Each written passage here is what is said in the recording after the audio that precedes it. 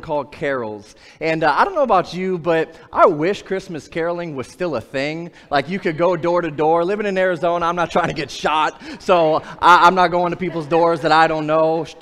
door to door evangelism has died because of the Second Amendment and the state of Arizona. I'm scared of people. But um, I do wish that we could go from door to door and do a little caroling. Uh, so if anyone's got any creative way to do that, maybe we could partner with a nursing home. Let me know. I'd love to do it. But um, the reason I want to do a series on carols is because I absolutely love Christmas. I was telling my wife the other day, can we just get a house with one more bedroom so we can make a year long Christmas room? you can laugh at me all you want, but you cannot be grumpy going into an all Christmas room with a little train and, the, and like some fake cookies and like the tree that's lit all year round. You just go in there, even if you're fighting and your kids don't like you, you could immediately, I think, be filled with joy just by going into a room full of Christmas. So, this Christmas season, as we go into this series called Carols, we're going to look at a different carol every single week. And each carol, I think, will be very familiar to most of you, but, um, but maybe you'll learn some things about a carol that you never really knew was part of that song. Maybe you know the words, but you didn't really know the true meaning. And so today we're starting this series with one of the one of my favorite carols called "Oh Holy Night." Anyone else love this carol? This is a good one. This is such a good one, and we're gonna have an opportunity by video to sing this together in just a minute. So hold on to the person that's bursting to sing. Um, so let me tell you a little bit about this song, Oh Holy Night, because it's interesting the origins of this carol. I get a little geeky when I find out like where stuff comes from. So this is very interesting where this Christmas carol, Oh Holy Night, comes from. So it's the mid 1800s. There's a priest in France, and he's reading Luke chapter 2. This is where the Christmas story is derived from in the Bible. Luke chapter 2. And he goes and he says to his people, he's probably having a creative meeting, right? What are we going to put on the screens? No, I'm just kidding. he's having a creative meeting. How are we going to make Christmas Eve come alive this year? And so they decide, hey, what if we could make this into literature outside of the Bible? What if we could take this story and we could do like a poem and we could read it at a Christmas Eve service? And so the priest is all excited. He's like, you know what? I know the guy. There's a local poet and, and he's incredible. What if we could get him to write us a poem? And so they go ahead and they, they meet and he gives him Luke chapter 2 and he says, hey, could you do something creative with this? He's like, okay, I could do something. And so he gives him a couple weeks and the poet comes back and he gives him Oh Holy Night. And that's, that's the actual poem that he presents to him. But here's the crazy thing the poet loved it so much, he found one of his friends and said, I'm not a musician, I'm just a poet, but could you make this into a song? Okay, so, so this is how this all came about. Now, here's something very interesting to me. Both of the man, the man that wrote the poem and the man that composed the song, neither one of them followed Jesus. Neither one of them. Now, he was able to read Luke chapter 2 and do something creative with it and make something that now today we sing and it does. It absolutely sings about the Savior. But I want you to know something, and I'm not preaching on this today, but it's possible to know a lot of things about God. It's possible to even read God's word and come out and even say some things about God, for God, and not know God. So um, I just want you to know today that there is power in this carol, but it's much more than just the words that you could sing or know. It's about who's in you, it's about who you're placing your trust in. And so Today, O Holy Night, is truly a song about the beginning of what we know as redemption from our sin. It's the, the first night where Jesus would come into existence on this earth. Now, the interesting thing so, this was in the 1850s, this poem and this song was written. In the early 1900s, about 60 years later, there was this man named Reginald, and he was in his garage one night, and he, he, was, he was really smart, brilliant guy, but it was before the age of technology that we know today. And so he's in his garage and he's messing around with this makeshift, um, what was it called? Um, generator that should have been easier to, to, come up with. Okay, so this makeshift generator, and so he grabs a microphone, and all these things are new pieces of technology, and he pieces them together. And, and here's what happens that night he kind of falls upon the first ever AM radio song that was ever played in the entire world was Oh Holy Night. He messed around in his garage and he was reading Luke chapter 2, and then he grabbed his violin and he started to play it. And the very first song that was ever broadcasted on the history of the world ever was Oh Holy Night in 1906. So I want you to know that this song, it goes back a ways, but it's much more than just a traditional song. It's a song that has great meaning. I'm going to read the first verse to you, and then we're actually going to play this song. And I'm going to just tell you, you can worship to this song. If you want to stand and worship, you can. You can sit and meditate. You can stay still during this. It's a beautiful rendition of this song. But I want you not just to get lost in the, in the prettiness of the song, but really listen to the words, because this word, these words are really are set up for our message today. But the first uh, stanza is, O holy night, the stars are brightly shining. It is the night of our dear Savior's birth. Long lay the world in sin and error pining, till he appeared and the soul felt its worth. A thrill of hope, the weary world rejoices, for yonder breaks a new and glorious morn. Fall on your knees, O hear the angel voices, O night divine, the night when Christ was born. This is the setup to Luke chapter 2. Why don't you worship with me with O Holy Night? So, this was a depiction of the night. And so, many of us, now we don't have a manger scene because we're a fiscally responsible church and we hit our budget on trees, so we stopped. But next year, we're going to have a manger scene somewhere over here. and so, if you see one on deep discount, we're going to get all of our stuff at the end of this Christmas season for next year. So, pray for us. But, um, but the manger scene is an incredible depiction of the night when Jesus was born. But I can't help thinking that the manger scene does somewhat of a disservice to what that night was really about. Can I tell you a couple discrepancies I have in the manger scene and the Oh Holy Night? Can I just tell you that the three wise men, if they're in your manger scene, they really shouldn't be because they weren't there that night? It's probably more likely that they didn't show up till two years after the night Jesus was born. And I don't want to go into the details, but it's super cool story. But the manger scene, the wise men weren't there. And actually, there weren't just three of them. There were probably many more, but they gave three gifts gold, frankincense, and myrrh. But there was probably many more than just three wise men. And then when you look at the night and you see this stable and you know that animals are present, but it looks pretty put together in a manger scene, can I tell you that Jesus was most likely born in the inside of a rotted out cave that would have actually been where, where that manger was set up and where the animals would go to get shelter um, when, when inclement weather came or, or when they needed to use the restroom. This was the little hollowed out cave that almost every theologian believes is the place where Jesus was born. So even in the, in the nativity scene that we know today, we can kind of deconstruct it a little bit and see that I don't really know that that fully depicts the night when Jesus was born, this holy night. You see, this night was about a teenager who was impregnated by the Holy Spirit. Whole different sermon, but but that's a hard conversation to have with her, most likely her teenage fiance who is now betrothed to be married. So that whole conflict is a whole different sermon. But you see this, and you don't get to see that in the nativity scene. You get to see her holding baby Jesus, but you don't get to see the nine months of fighting and agony that there must have been between her and Joseph. You don't see the fact that this little teenage girl had to ride somewhere between 80 and 120 miles to get to Bethlehem on a donkey in the Middle East where the weather is not that great. And so, so let me just say this when, when, when my wife gave birth, we had to drive two miles in a Ford Fusion to a world class hospital, and it was chaos.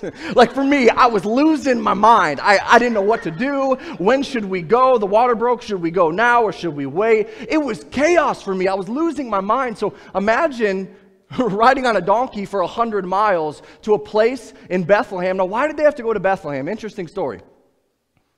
To fulfill prophecy. Because Mary wasn't from Bethlehem.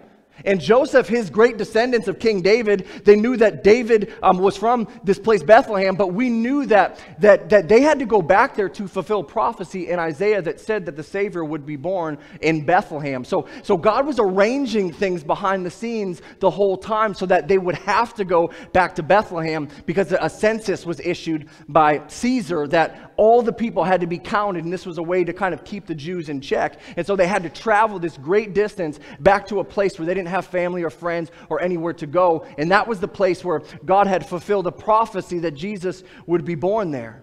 But this holy night that we see in the Nativity, all of these things don't really come through. This was an unsterile, unplanned, and unorganized night, and God still used it.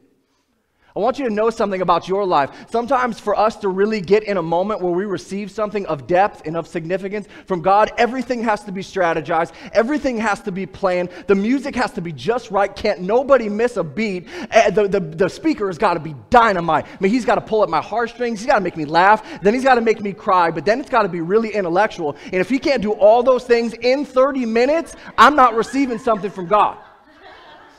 You see, but this night, everything about it was unsterile, it was unplanned, it was unorganized. And this is the way that God chose to usher in the Savior of the world. So I want you to know something about your life today. You may look at it and say, man, this isn't how I thought it would be. I thought I'd be in a different place right now. I, I, thought my kids would be in a different place right now. I, I, thought my marriage would have progressed further than this. I thought a young person, I thought I'd, I'd know a little bit more sure about what I was called to do with my life. I'd know a little bit more about my second or third or my fourth major. I would know. I would know.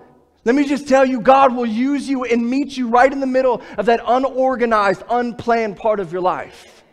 So don't wait for everything to line up just right to see God do something significantly. He's probably just standing there waiting for you to turn your eyes to Him and away from the chaos. And that's what this night was about a thrill of hope. A weary world rejoices for yonder night, a new and glorious morning. This is what I want to talk about today. Because if there's anything that I feel like describes the world we live in today, is a weary world. You see, when this song was penned in the 1800s, it was a weary world then. Guess what? It's a weary world today. It's the same world, but it's just maybe even progressively gotten worse and worse. But here's what I want to tell you tonight. This, this author who didn't even know Christ, he knew something about what Luke chapter 2 was describing that the thrill of hope that would come through a baby being born would forever change the world. That you didn't have to go another day without hope. Now, it doesn't mean that difficulty won't come. It doesn't mean that you won't have incredibly hard seasons of your life, but it meant that there was always going to be a hope found in Jesus that was available to you. So this song says the thrill of hope. I want you to know in the chaos of this night, this manger scene night, in the chaos of it, there was still a thrill of hope. Even with all the unanswered questions, where is he going to be born? Is it going to be a sterile environment? Is he going to get sick? Where are we going to go? We don't have family. We don't have friends. It would take us a couple years to get a place. And, and, and all the while, Joseph probably still doesn't trust me and doesn't believe that this has really come from God. In the chaos of all of that, there was still a thrill of hope. And I need someone to know that today about your life. Even in the chaos of your life today. And some person in this room today, you don't know how you're going to pay a bill. You don't know how that relationship's going to be restored. You don't know how you're going to ever move up in your job. Are you in a dead end place of life? Let me just tell you something that a new and glorious morning is coming. Now, it may not come in the form of changing of circumstances, but it can come in the change of your perspective and the way that you place your hope in Christ. A thrill of hope is in front of you today a new and glorious morning. And so today, our main text, I'm going to kind of get from an unusual place about 600 years before the birth of, birth of Christ. There was a prophet by the name of Jeremiah. Many of you guys would be familiar with his name. But Jerusalem had just fallen in 586 BC. It had just fallen. The city was in ruins. The economy was destroyed. God's people were dispersed everywhere. Now, most of this was because of their own doing, but their city was destroyed. Everything they knew about their life was now completely up in, in, in disheveled. Everything. And I don't know if you're in that place of life, but, but let me just tell you like, if they got to this place that I want to tell you about of hope, then I think we can too. But these people are in mourning. And what Jeremiah does in six short verses is he turns his mourning into rejoicing. And I want to see this. How did this happen? What was the outcome of this incredible prayer? So in Lamentations chapter 3, verse 20, we're going to read six verses together, and we got a couple points out of it. Verse 20 Jerusalem has fallen, it's destroyed. Jeremiah says, I well remember them. He's talking about all the people that had just been greatly affected by what just happened and my soul is downcast within me. Let me tell you, someone in this room, you can read ahead if you want, or you can stick with me in the verse.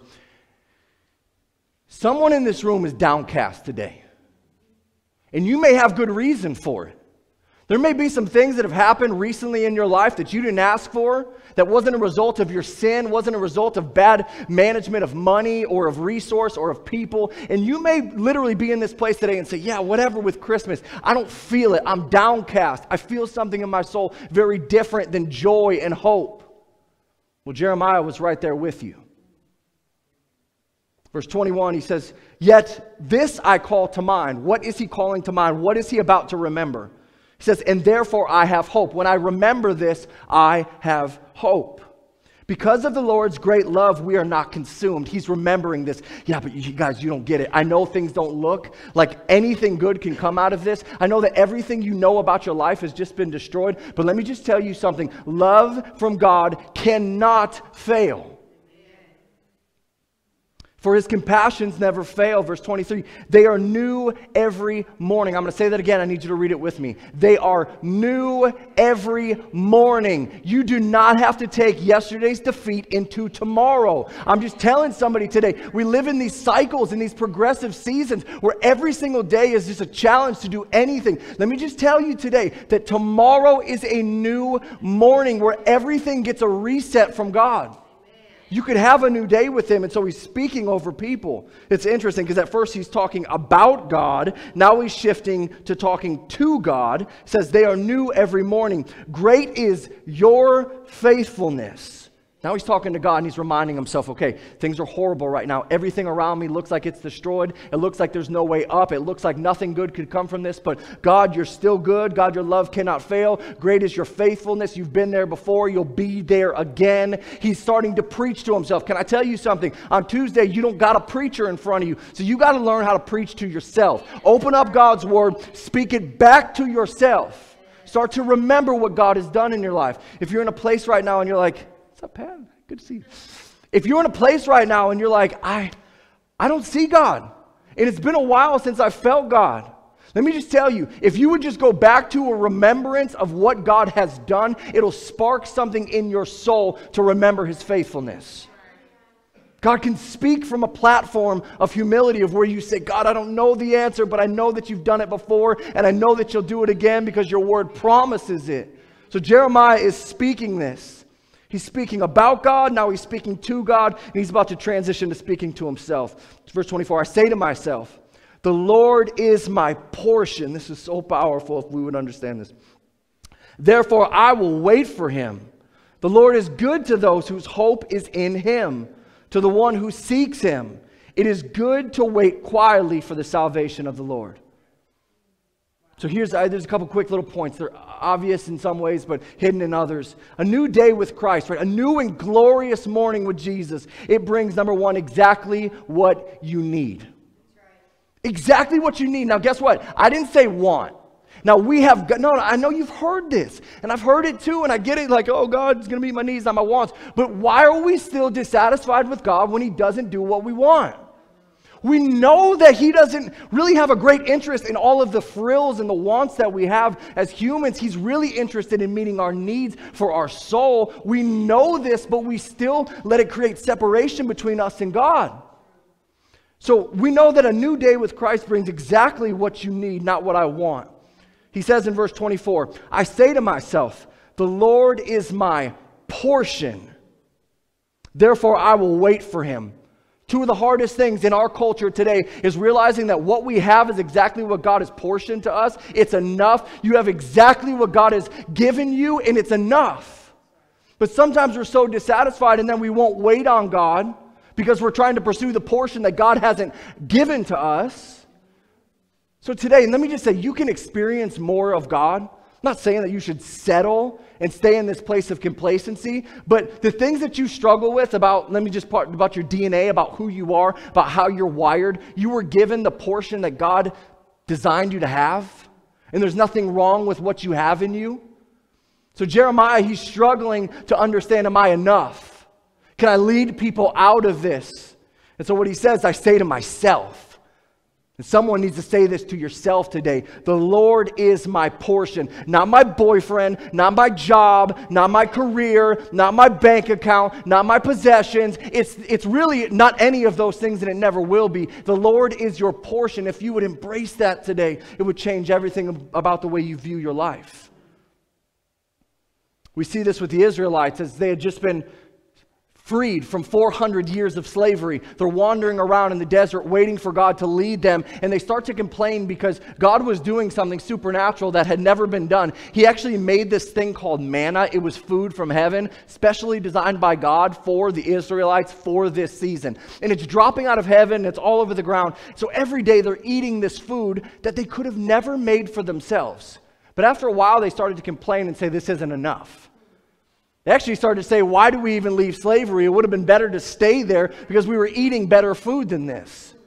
So, really, what they were doing was they were complaining about the portion that God was giving them. And so, what they started to do was they would start to hoard the manna and say, Hey, I'll take some of your manna, I'll take some. But every single day, the manna would rot at the end of the day. It wouldn't last to the next day because God was trying to prove something to them that I believe He's still proving today. He is enough. You don't have to store up something. God has given and will portion to you exactly what He sees fit. So if you don't have what you think you should and you're in right relationship with God, just know today you have been portioned exactly what God has desired. He's trying to teach us that we need Him every day. And not just today, but tomorrow. I keep talking about a new and glorious morning. Can I tell you that tomorrow God will be exactly what you need? He's already in tomorrow. He's already thought it out. He's already planned and prepared tomorrow for you, but you have to trust Him. He's exactly what your marriage needs. You don't need another book. You don't need another counseling appointment. You should do those things in addition to getting your heart and your mind fixed on Jesus. Your marriage needs Jesus, nothing else. If you're struggling with your kids and I don't know how in the world can I get them to actually listen to me and respect me, let me, it's Jesus. And it's just getting on your knees every single night and pleading before God, God, would you give me compassion for this kid? Because I'm going to knock him out. God, would you, would you give me grace to just keep parenting in a godly way? Would you just give me more time so I don't have to hand them an iPad, but I can, I can sit there and I can spend time with them? What you need in your life is Jesus. If you're weak today, you don't need more strength that comes from you. You need the strength that comes from God. You need to embrace your weakness today because we know the Bible says that in our weakness we are made strong through Christ. Today, don't feel like that's a deficiency because you're feeling weak. Offer that to God and He'll replace it with strength that comes from Him alone. Today, if you feel lost, Jesus is what you're looking for. You're not lost because I don't know where I should move or uh, what I should do with my life. You're lost probably because Jesus is calling out to your soul. If you're hurting today, the comfort that you need is found in Jesus alone. You can have conversations, and some people will bring you some encouragement, but it'll last about this long. You need the Spirit of God to come and wrap over your heart. A new day with Jesus brings exactly what we need. Number two, a new day with Jesus brings the hope to keep going. The thrill of hope a weary world rejoices. What we need more than anything in this world today, and if the church would rise up on the legs that God has called us, and we would have hope in Jesus, and we wouldn't look to the economy, we wouldn't look to the government, we wouldn't look to anything else, and we would say, My hope is planted and firmly rooted in Jesus alone. I'm, I just wonder what the church could do. Verse 25, Jeremiah says, The Lord is good to those whose hope is in Him to the one who seeks him. The Lord is good to those whose hope is in him. Every one of us, there's hope inside of you, but I just don't know what you hope in. I, I know today, I'm going to call it, I'm hoping the Vikings win. I know you guys are probably sick of me, but I am. I just got to give it to the church and let you just pray at the altar today. We got a big game against New England. Preach. Come on. My hope is that they win today. My hope, and you can fill that in for yourself, the things that you hope for, but the Lord is good to those whose hope is in Him. You all, and, and we all, we all hope in things that don't matter, but let me just ask you about the things that do matter, where is your hope? Someone once said you can live 40 days without food, you can live eight days without water, you can live four minutes without oxygen, but you can't live more than a few seconds without hope. Some of us were suffocating in our soul because we've placed our hope in all the wrong places. And we've placed it in our job, and our job's not coming through for us. We've placed it in an advancement, and it hasn't happened. We've placed it in something that God has not uh, commissioned or something that God is not over, and we wonder why we still don't feel completion and we don't feel like anything's changing in our soul. It's because we've placed our hope in the wrong place. When you place your hope in a person, let me say this you place your hope in your husband or your wife, they're a person and they do have faults and they sin and they'll, they'll mess it up. If all your hope is in your spouse, and there's some marriages, it's not a lack of love, it's a, last, uh, it's a product of your placing all of your hope and your weight into that person. And when they fail, you take it as if God failed. They're a person who makes mistakes. Redirect our hope and place it in Jesus. Where and in who are you placing your hope today? You're placing it somewhere. You have to ask yourself the question where and in who? In Hebrews chapter 10, the author says, Let us hold. Go like this hold. Okay, start with an open hand. One, two, three, hold. Let us hold unswervingly. That means, that, dude, it's going to get twisty and it's going to get bumpy. And you're going to have to make a decision. I'm going to hold on no matter what or I'm going to let go when it gets difficult. He says, Let us hold unswervingly to the hope we profess, for he who promised is faithful. You can talk about it all day long in the church. You can nod your head to the sermon. You can say all these things, but when life smacks you in the face, whose hope are you going to hold on to? Are you going to hope in yourself and your ability and your intellect and your understanding and, and you're going to get yourself through? That's the season I, I find myself there all the time. I'm going to be honest with you in the church. When a problem comes, my usual default is how can I fix this? Not God, where are you at in the middle of this? I'll start at fixing, and then usually after I screw it up more or fail to fix it, then I'll say, hey, would have been a good start. Maybe I should reprogram my mind to start at finding my hope and my trust in Jesus. So today, question Have you let go of hope?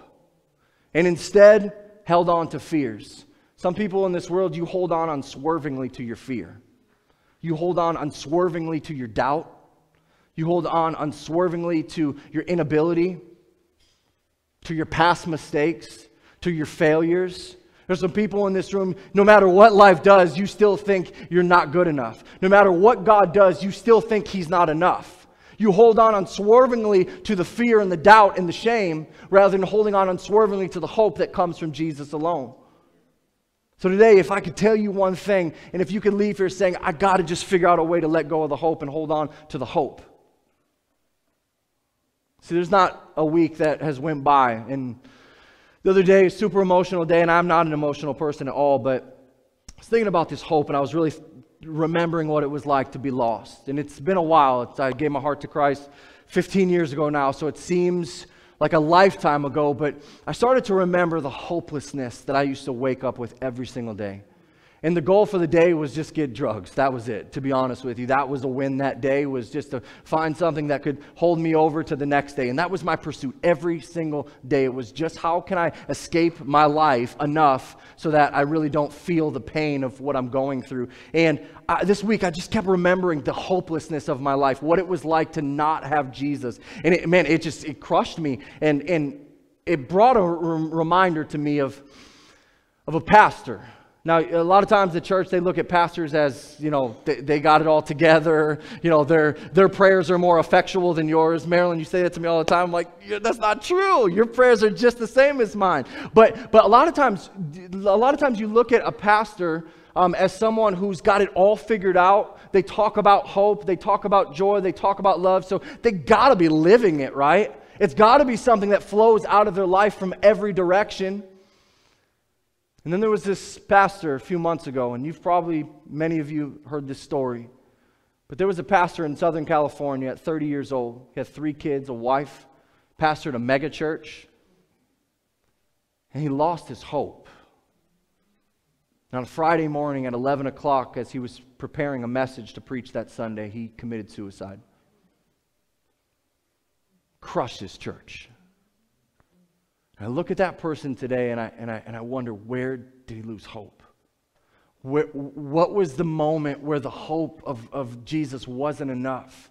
And so I, I want to show this, and this, this wrecked me, but I, am doing it not, not as a memorial, but as a, I want you to reflect through this because they showed this at his memorial service, and um, it's kind of the progression of his life. But I want you to see someone that knew about the hope he knew about who Jesus was, but it was so easily to hold on unswervingly to the doubt and the fear and the insecurity to the point uh, of it costing his life. So, it's about a six minute video. I'd encourage you to watch this and see yourself in it.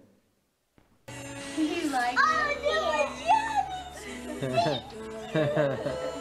you see, Andrew, show me, bud.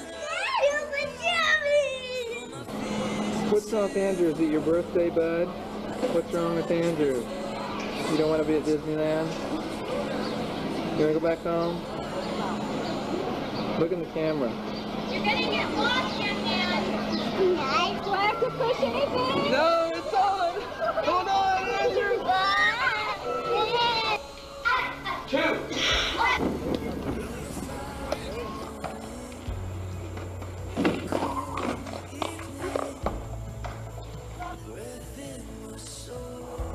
birthday. Well, hello, my name's Andrew, and I, I work with our student ministries here. And uh, I'm super excited about what God's doing already. And I'm pumped today to talk to you about youth culture, specifically uh, the next generation and how we can reach them.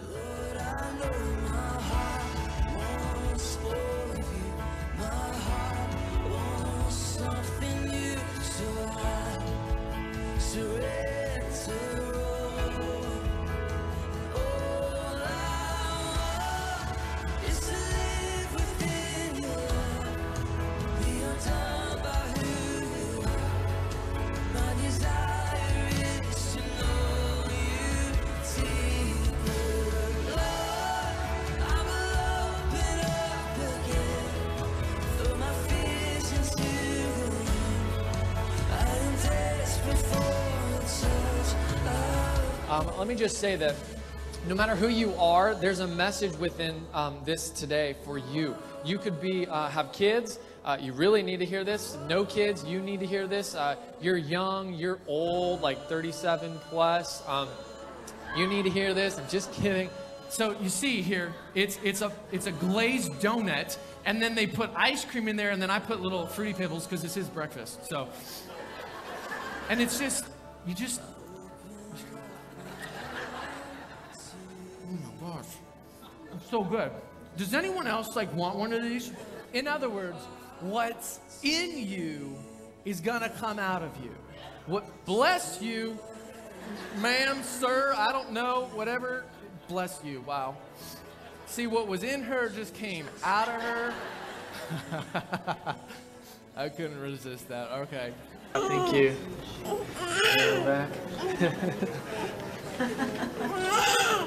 My construction, started and yeah.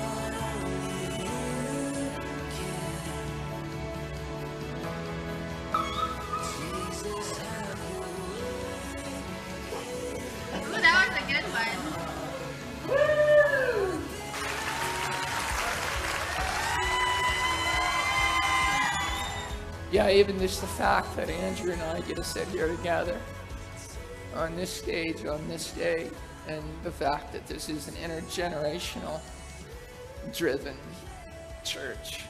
And I am so humbled to be a part of this. Uh, just to be a part of my family um, and a part of this church family is, is just, it's honoring, it's humbling. Um, I, I'm just like, man, I'm still learning. And I, and I often doubt myself. I often feel like I don't have much to say.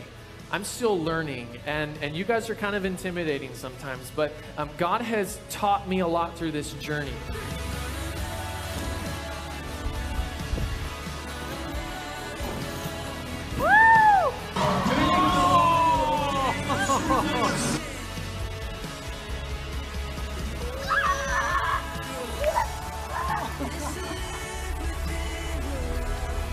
Entire lifetime, just a moment to you at best. Each of us is but a breath.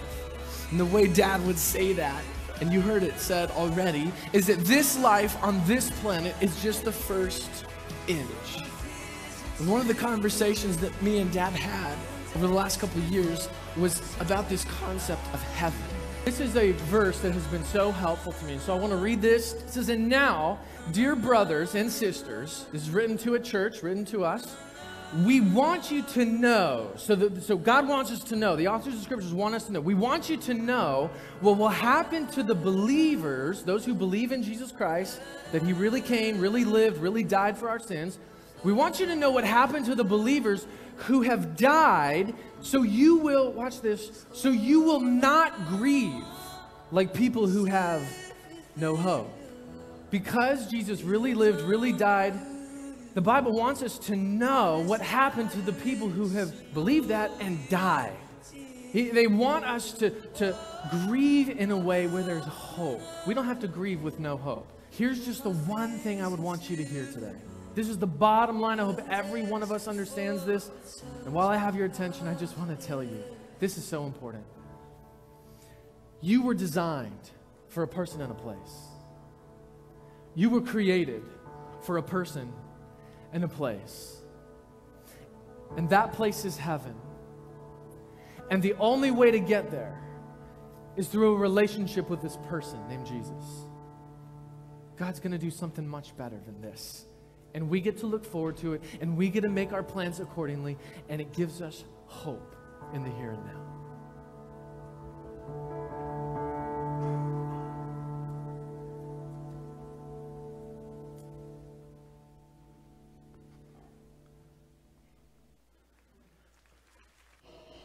So the reason I show that is um, it just seemed like he should have it all together. Talks about hope, talks about love, talks about joy. I don't pretend to stand in front of you guys to tell you that I got it all figured out.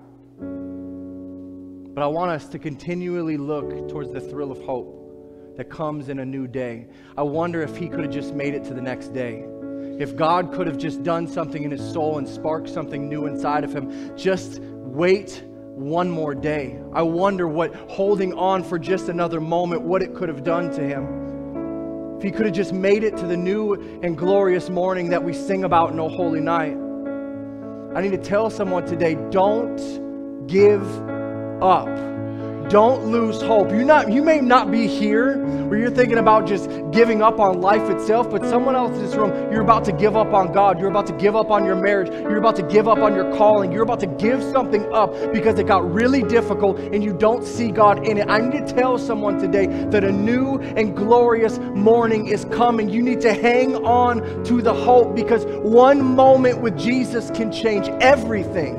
If he would have just had one more moment, have changed everything. Lazarus was dead for four days, but one moment with Jesus, he got up and he was healed and he was alive. One moment with Jesus, with the woman who had the issue of blood, and for 12 years she was afflicted. She was a social outcast, she had no belonging. But one moment with Jesus, everything changed. In a moment, the man who had laid by the pool at Bethsaida for 38 years, he couldn't walk. And in a moment, Jesus walks by and says, Pick up your mat and go. In a moment with Jesus, he was healed forever. And I need someone in this room to know today you don't have the answer in yourself, but one moment with Jesus can change everything. And don't you dare wait till next Sunday morning to have your moment with Jesus.